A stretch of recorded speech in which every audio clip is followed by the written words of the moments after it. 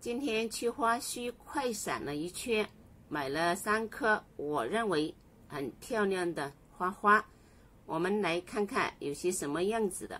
这一颗呢，它标的名称叫做水莲石斛，有的人叫它红莲石斛，反正就是一颗石斛兰就是了。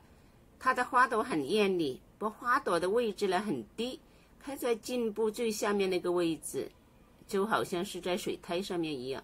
水苔很旧。另外呢，在他们家还买了一颗特价的兜兰，有的人叫兜兰为拖鞋兰，所以它标的名字叫做斑点拖。这一朵花花我觉得也很漂亮，现在是特价五十块钱港币，以前是九十八块钱港币。这三颗当中，这一颗的质量就是最差最差的。另外呢，我在临走的时候，在另外一家店铺买了一颗这样子的。兰花，它标的名字叫做白蜡索，它的花朵和它的株形、它的植株都很可爱，但是我认为它不是白蜡索，它应该是白蜡索跟卡特兰杂交的，也有人叫它马凯卡特兰。我通常呢是新入手的兰花，尽量的第一时间给它拆植料，但是。我忙完以后，现在已经很晚了，就今天暂时不拆植料，等我有空再拆。那我现在会怎么样处理它们呢？当然是用上万能护理液。我手上有做好的万能护理液，还没有用完的。我们先来隔渣，然后呢，把它装到一个喷壶里面，然后用万能护理液喷洒它的植料。最主要是植料了，植料里面有的时候会有虫子，有的时候会有细菌，这样子全部给它们喷洒一遍。呃，花花呢，尽量的避免，因为有的花朵受得了，有的花朵受不了。茎部啊、叶子上面喷得到的就喷，喷不到的就不用喷了。然后让它们这样待着，等我有空再来拆植料。现在是第二天早上，有点时间。可以处理一盆鲜。这是早上呢，我家有微弱的阳光从这边照射进来。先处理哪一颗呢？一颗一颗来检查一下。这一颗卡特兰就暂时不用处理，植料还行。那这一颗红莲石斛呢？植料不好，但是根还行。那这个可爱的斑点托呢？质量很差。昨天呢，打开包装的时候飞出了两个小飞鹰。那现在这个时间就来处理这一盆鲜，它的质料是水苔很多，并且呢塞得很紧，质量也很差。上面呢掏了很多出来，也没有看到根，继续拆。就这么一丁点儿根，用了那么多的水苔，状况很差耶。难怪它要特价，人家说买的永远没有卖的精。它有打特价，一来呢，它的花开了很久了，因为我去了好多次，看到它就开着这个花的，并且我还很忙，好久都没有去过，它还开着，这就是它花开了很久，这是第一。第二，他自己也知道它的根很差，难怪这么便宜呢，才五十块钱港币。继续拆植料，这是烂根。另外呢，还掉下来一条根，这条根呢是硬的。另外又剪了一片叶子，因为看不习惯它的样子，不喜欢就剪掉。我觉得它的花朵挺漂亮的，白色的底加一些紫色的斑点和条纹，有点蜡质的感觉。嗯，就是花梗太短了，能够长一点就好了。不过它是这种品种，旁边有一个侧芽。接下来我会用万能护理液跟它清洁它的根部，我就不拿去冲水了。这是养护配方当中的原液，跟它喷多一些。然后呢，这样子一清洗以后，很多脏东西就下来了。接下来我去准备植料和容器，我给它准备了这样子的容器。底下是有孔的。另外呢，这个是植料珍珠岩，昨天晚上泡过水，然后来清洗过，这样子沥着水的。呃，如果你用的时候你再去清洗的话，就水滴滴的，不好操作。现在它里面还是有一些湿度的。接下来呢，我会混合一些盆栽土一起使用。这就是盆栽土，我会跟那个珍珠岩一比一的比例来使用。这些分量的盆栽土大概就是我所需要的。另外再加上同等分量的珍珠岩，之后把它们拌匀备用。好，我们现在就来开始种植。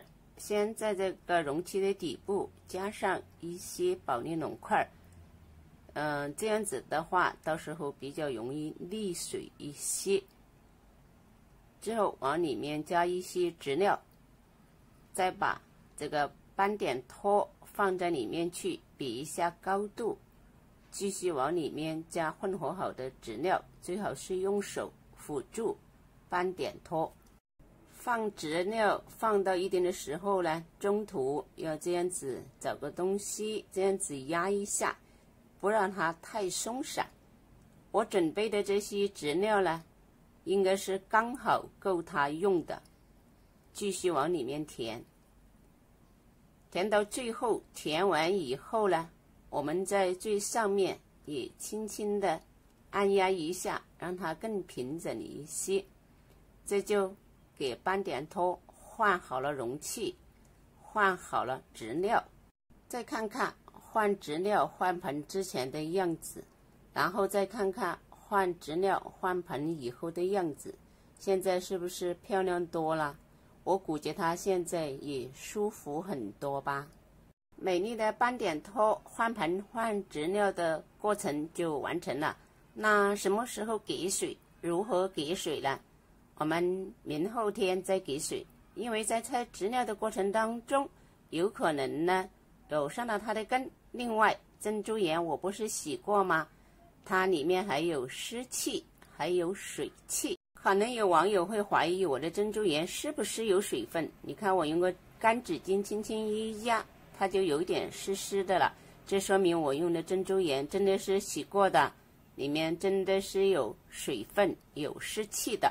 这是换盆的第二天，早上微弱的阳光又进到我家。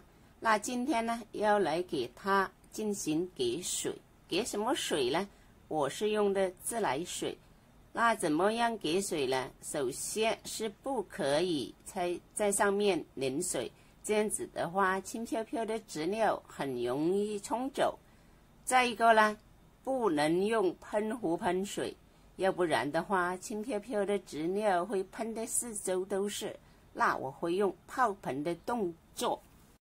我先放自来水，用了一个量杯装一点自来水。这个绿色的这个盆呢，是等一下备用的。看到我家的阳光了吗？从这边照射进来的。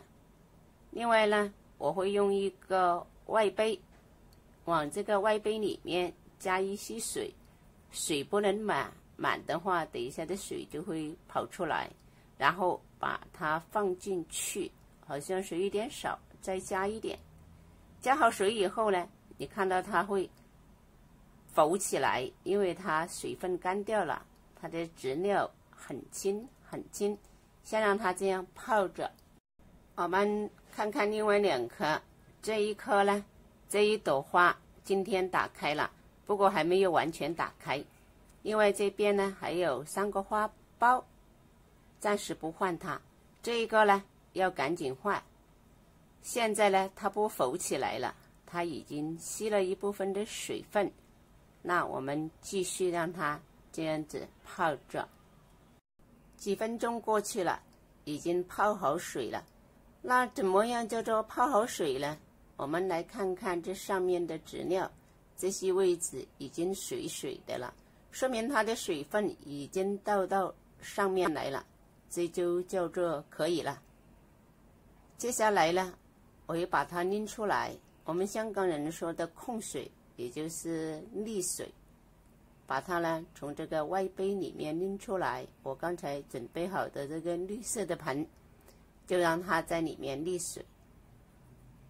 另外呢，这个红色外杯里面的剩下的水倒掉就是了。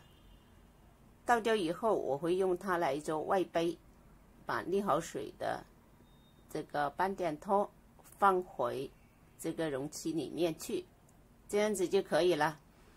等它下次呃植料快干透的时候，我们又这样子进行泡水。摆放的位置呢，昨天我是摆放在呃光线比较差的地方，那现在开始在我家可以随便放。因为我家的太阳只有早上一点点微弱的太阳，只要不是太阳直射就可以了。呃，肥料呢不用施肥，因为这个盆栽土里面本身就有肥料的。好了，今天的视频我们就分享到这里，谢谢大家，下期视频再见，拜拜。